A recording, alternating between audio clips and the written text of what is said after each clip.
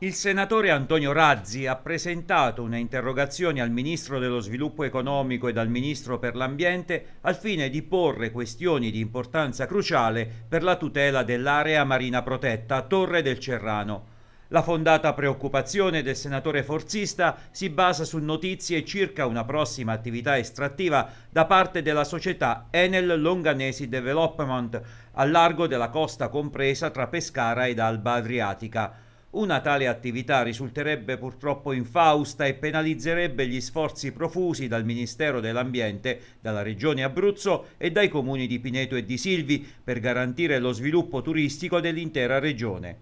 Considerando che la costa abruzzese è già stata negli anni passati invasa da varie piattaforme per le trivellazioni che hanno ampiamente deturpato il paesaggio naturale, il senatore Razzi interroga i ministri chiedendo di intervenire e porre freno al progetto.